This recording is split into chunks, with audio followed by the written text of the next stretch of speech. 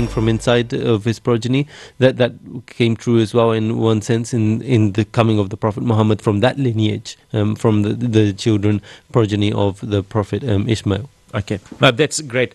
Thank you, Mustafa. That is that was very informative. I think that has answered my question quite uh, quite well as well. If I'm having the discussion with my colleague, I'll be able to probably explain him uh, a little bit more in detail next time around. Looks like our technical difficulty has sort of um, you know been been resolved. So I will try and see if I'm able to just to play a video clip um, around life of Holy Prophet Muhammad. It's an introduction by the Ahmadiyya Muslim Jamaat. So bear with me. I'll try and see if I can get this going.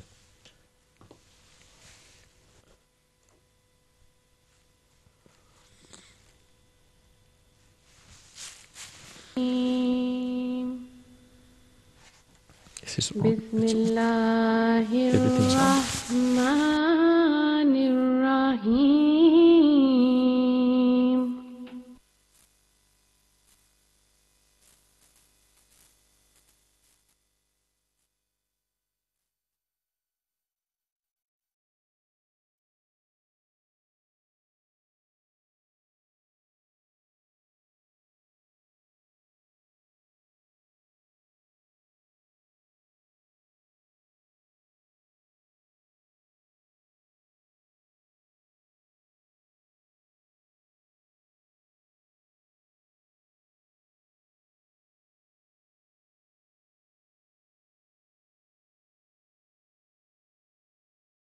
ایک رات مفاسد کی وہ تیرا اتارائی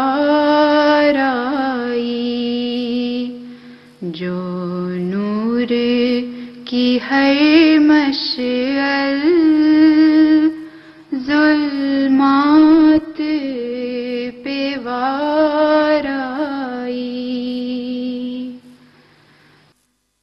تاریکی پہ تاریکی گمراہی پہ گمراہی ابلیس نے کی اپنے لشکر کی سفارہ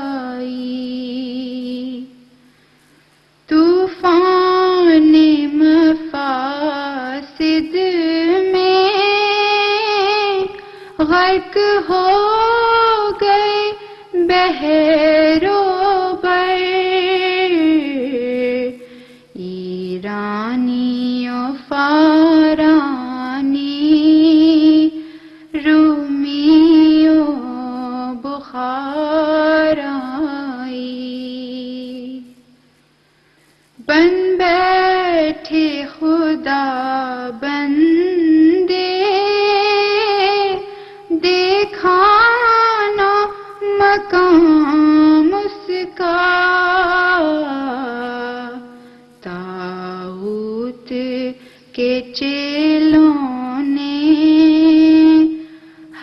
हथियार लिया नाम उसका It was an era of darkness that had prevailed over the whole of Arabia. No one was safe or content, and people lived in a state of daily chaos. The Kaaba that Allah had once destined for his own worship was now filled with idols, almost one for each day of the year. Battles based on feuds between tribes resulted in years of slaughter and innocent deaths. To be born a woman was considered a sin. Every day you could hear the cries of baby girls buried alive because their entry into the world was considered a curse on the family. Even those who did survive were doomed for life. Forced into marriage to corrupt men, they were denied all human rights. Even in widowhood, they would be shunned by society. Gambling, exploitation, deceit, dishonesty. all were embedded in the everyday lives of Arabian society.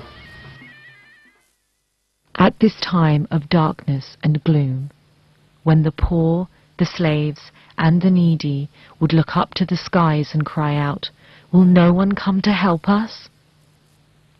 Allah had mercy on them and sent the one who would bring great change to mankind. And so begins the most remarkable chapter in human history.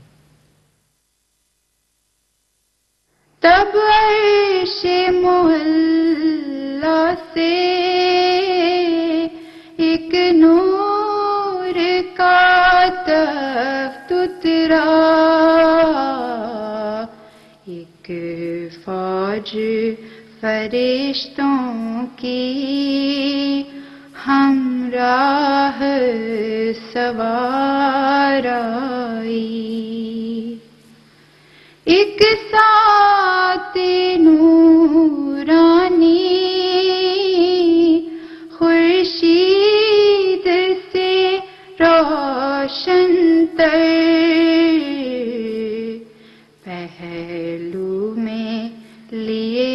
جلوے بے حد و شمارائی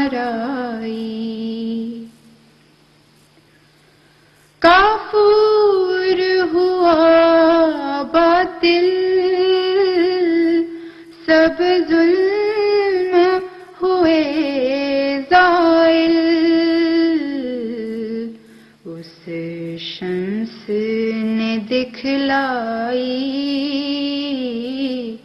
جب شان خدا رائی۔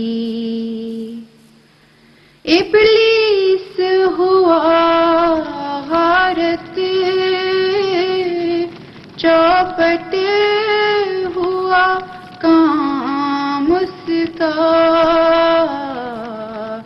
توحید کی یورش نے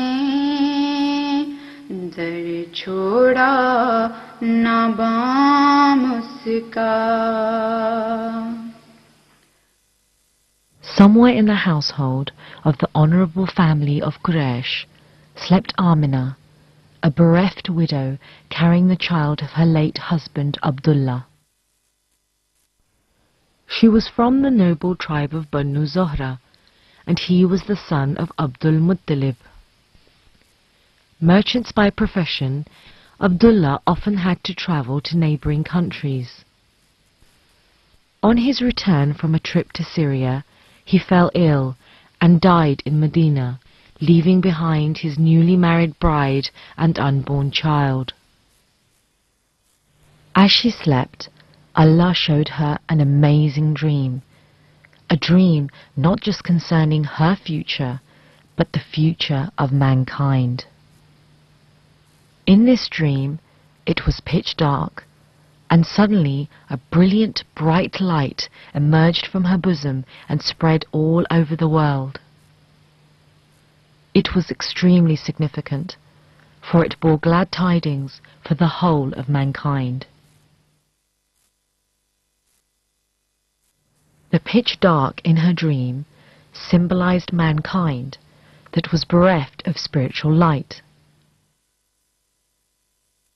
Civilization that had spread its branches across the world now stood threatened for survival, for it was rotten to the core. The light that she saw, emerging from her bosom, was Muhammad, peace and blessings of Allah be upon him. I'll just pause there for a moment um, on the documentary and come back to an interesting um, question that's been uh, in my mind, and I think it might be beneficial to our viewers as well, uh, Mustansar. We talk about prophecies. We talk about um, the Old Testament. We'll talk about the prophets, the lineage, uh, his life here, and you know things he has done, which you have uh, explained earlier. Was there anything significant or significant prophesied about the Holy Prophet Muhammad In the Bible, in the Bible? from the, Yeah. from Bible's perspective. Yes. Uh, uh, I mean, there's many prophecies about the Prophet Muhammad, may peace be upon him, uh, mentioned in the the Bible, the Old Testament as well as the New Testament. Um, some of the more commonly um, narrated ones are, for example, in Deuteronomy, um, which is one of the first five books of uh, the Old Testament, known as the Torah, um, and it's in chapter 18 and roughly around verse 18 as well. It talks about. The coming of the great prophet uh, from amongst the, the brothers of of those 12 tribes. Um, and the brothers of those 12 tribes is from the lineage of um, the prophet Ishmael um, uh, who, who was the brother of um, Isaac um, or Ishaq. Um, and it, I mean the signs of his truth which I mentioned. It says that you know he would speak the words of God. The, the very first words of the Holy Quran are Bismillah Right? in the name of God. And he says, you know, he would speak in the name of God as well. Um, and um, there's there's other signs which are mentioned as well that everything you speak will be in the name of God and everything. And anyone who's a false claimant, they will be killed or they will die. The Prophet Muhammad, may peace be upon him, he, he wasn't killed. Um, he, he lived a successful life, and after after um, his um, uh, claiming to be a prophet as well. But there's also other prophecies in the in the Bible. Uh, I, I, I know one in Songs of Solomon, Yes. where it specifically mentions the name of the Prophet Muhammad, may peace be upon him as well. It says, um, and uh, I, I don't know if my pronunciation is correct or not, but um, it's along the words of, and I'm saying it from the uh, top of my head, that Hiko Mustaqim wa Kharu Muhammadim. Daudi was Zeri Banut Yerushalam. The Muhammadim, Yes. the Prophet Muhammad, may peace be upon him, his name has even been foretold. And that's in the Songs of Solomon, um, in, the Bible, in the Old Testament. Um, and there's there's so much other details mentioned in prophecies. It, it talks about him coming with ten thousand saints, uh, which is referring to um, the, the the march back onto Mecca with ten, uh, an army of ten thousand, and um, and it talks about him coming with a fiery law. And fire um, in the Bible metaphorically also means a, a law which cleanses right? Um, and uh, obviously a law meaning that he'll come with another teaching from God Almighty as well. Uh, there's so many different prophecies in the Bible um, which speak about the coming of the Prophet Muhammad, peace be upon him. Thank you, Mustansar. That's uh, very insightful uh, for our listeners and viewers. Um, so we'll go back to the documentary and uh, get more um, around the life of Holy Prophet Muhammad. the son she would give birth to. Muhammad, the Apostle of God, whose qualities and grand stature no one else in history would remotely match, and was destined to be the most powerful instrument of God for the revival of mankind. आया वो गनी जिसको जो अपनी پہنچی۔ ہم ڈر کے فقیروں کے بھی بخت سوارائی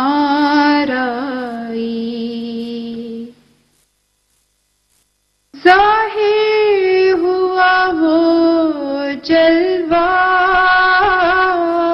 جب اس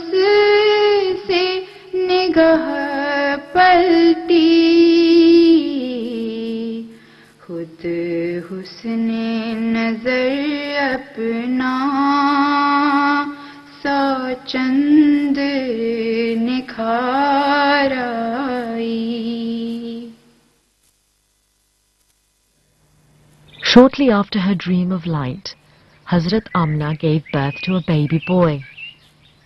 Hazrat Muttalib, the grandfather, was given the great news of the blessed birth, and the child was named Muhammad, which means immensely praised. To give thanks for the birth of his grandson, Hazrat Muttalib carried baby Muhammad around the Kaaba. And so, the Holy Prophet of Islam was born.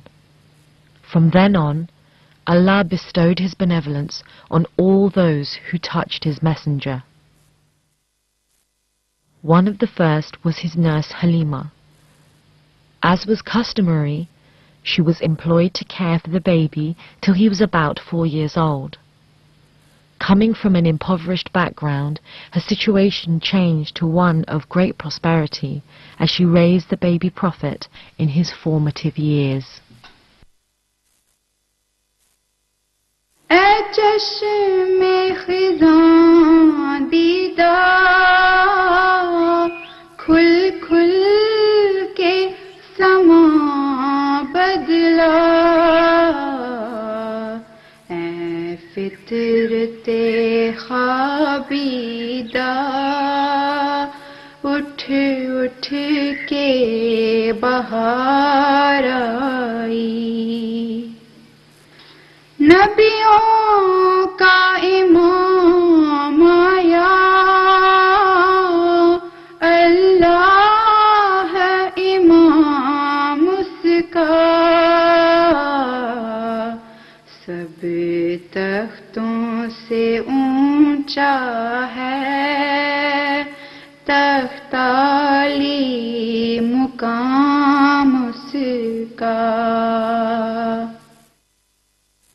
Muhammad, peace and blessings of Allah be upon him, was subjected to trial from a very early age. When he was only six, his mother passed away, and then, after a few years, he lost his grandfather too. Alone again, he was put into the care of his uncle Abu Talib. He was a shy, quiet child who would be deeply affected by the poverty which he saw on his travels with his grandfather. He grew up into a man renowned for his kindness to relatives and his care for the poor and the needy. In Meccan society, he was known as Sadiq, the truthful, and Amin, the honest. His fair dealings made him well known amongst the trade community in particular. This is how Hazrat Khadija came to hear of him. Despite being 15 years his senior, she was so impressed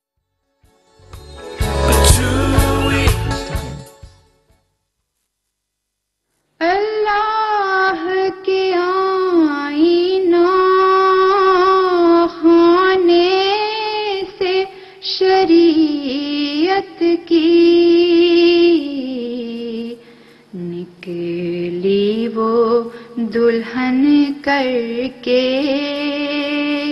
جو سولہ سنگھار آئی اترا وہ خدا کو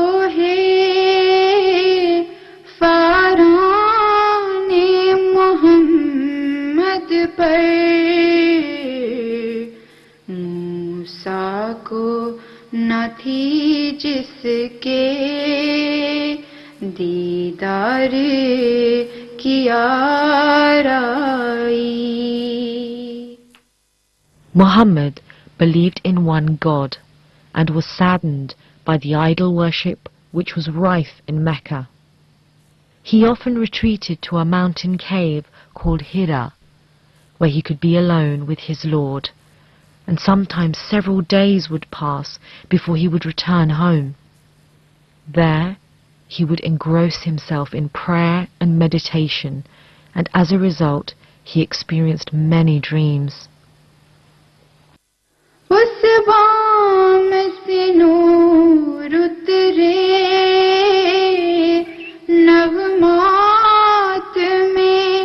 ढल ढल कर से उठे खुशबू हो जाए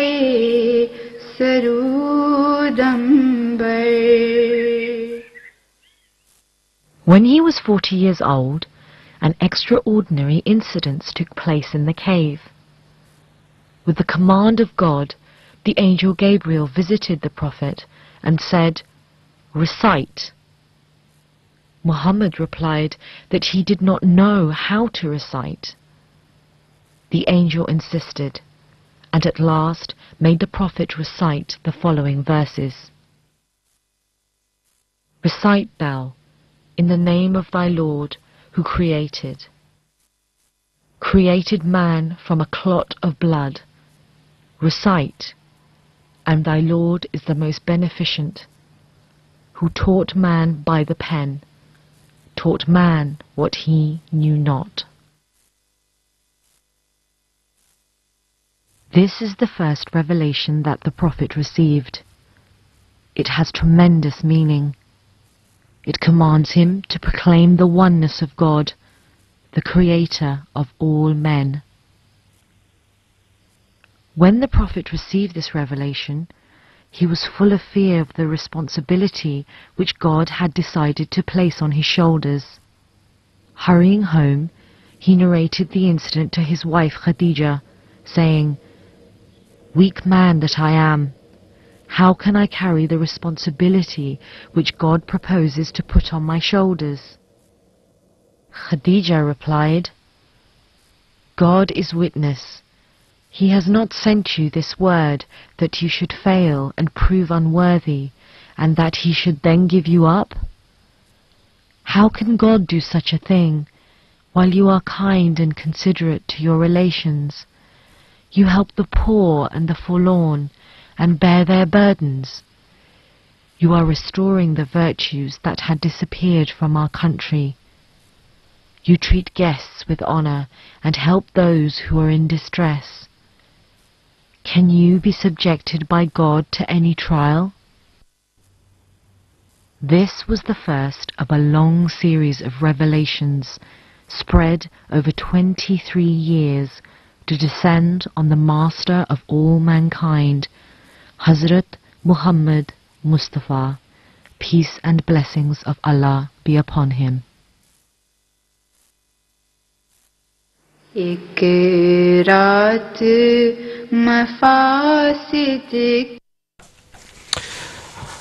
Thank you to our listeners and viewers. So we'll pause the um, documentary for today. Um, uh, do apologize, we had a bit of technical glitch today, so uh, the program didn't go quite to plan, but we were able to cover a lot of uh, discussions around the life of Holy Prophet Muhammad. May peace and blessings of Allah be upon him.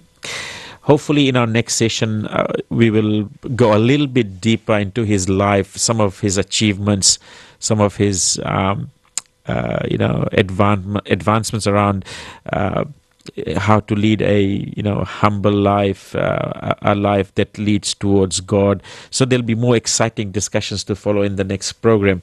But just before we finish off, I just want to probably share some light again with regards to our refugee settlement in Masterton. Some of the programs that's been running here and uh, there's no better person to probably ask is Mustansar and whatever I do get insights on I do always let the listeners and our viewers know and um, our special thanks to the team at Red Cross um, Masterton District Council, the mayor, um, Arrow FM. Very, very thankful we're able to voice our, um, you know, happiness, I guess, uh, around what what you have done for us through this channel. So I'll probably just get Mustansar to give us uh, some more on the insight on the settlement. Yeah, um, the uh, I think the I just a few days ago I attended an event in in Wellington, um, and it was organised by the Baha'is, um, and it spoke about the Baha'i persecution that they are facing, yes. um, in particular in Iran, um, and that targeted persecution, and it, it was very you know um, saddening to see what was happening with them and watch the documentary which um, was played as well. And there was quite a large audience there as well. But in one sense, I was happy that they had an MP, they had some good representatives who were there to to make the public aware um, of what's going on and and raise their issues. Um, and in one sense, it drew me to to that desire to raise the voice of what's happening with us Ahmadis as well. Because we have the same thing going on. And recently, just very recently, four students were thrown out of school in Pakistan. Why? Merely because they're Ahmadis. They did nothing wrong just because of the beliefs they hold. They were thrown out of school. And even more recently, there's the clerics have called on supporters to carry out attacks against Ahmadis, especially pregnant mothers. Just imagine that. You, I mean, we we hear of the accounts of Pharaoh, um, and how when, when young children were born, he would you know um, get the wet nurses or he'd get them killed and stuff. Um, but this is unborn children attacking pregnant mothers and unborn children. And um, I, I'll I'll read out parts of the press release that uh, Muhammad Naeem Chattha Qadri, a senior cleric belonging to the Tehreek-e-Labbaik Pakistan, calls on his supporters to carry out attacks against pregnant Ahmadi Muslim mothers to ensure, and, and quote, ensure that no new Ahmadis are born. And he went on to say, and I quote, those babies who are being born should be killed. And then throughout the speech, the cleric led various slogans, including, There is but only one punishment for blasphemers decapitation. And then, speaking from the podium, the cleric openly warned the police administration um, that they should, uh, should they attempt to provide protection to Ahmadi Muslims um, and their families, he said that those of you who are from the po- police agencies, or if there is any DPO or district police officer, um, or DC or deputy commissioner, um, or SHO or police station house officer, they must understand that we cannot be stopped. Just imagine that. Imagine if something like that happened here, the, the outcry that people would have. And this is this is not something that's unique in that this is just one one event. There's so much targeted persecution of our community that's happening in Pakistan on a daily basis, and this publicly they're calling for the death of our members. Why? Just merely because of our beliefs, our peaceful beliefs. Hmm. It's not like our beliefs are threatening anyone in any way. They're peaceful beliefs. And, And and that's the situation that our members are coming from. And that's the situation that we need to raise our voice about. And anyone who's hearing this as well, I urge you to raise your voice about these, these issues as well. Absolutely, Mustansar. This is um, inhumane, against human rights, unlawful. Look, and I'm glad you've highlighted this to our listeners and viewers, and it fit, fits in so nicely. This is why our members or the members of the Ahmadiyya Muslim community are leaving Pakistan on refugees to settle where they can find peace. And New Zealand is one country who is welcoming us so, uh, you know, in, in such a blessed way, I guess is the right word to say here, that uh, they can be away from this mess. So, Uh, But uh, I'd reiterate that yeah, no one wants to leave their home country. They have they have an attachment, they have a love for Yes. their home country. They've got family, they've got loved ones, they've got memories there, but they're being forced to leave. And so, what can we do about it is something that we need to think about. Whilst people volunteer, help out the refugees as well, let's try and stop that that, that persecution. Let's raise our voices against it. That's the very least we can do. And and as a country, as a nation, uh, uh, we should we should be raising our voices against such brutalities, um, against all minorities, not not just Ahmadis, uh, Baha'is, and others, but all minorities, and raising our voice against injustice.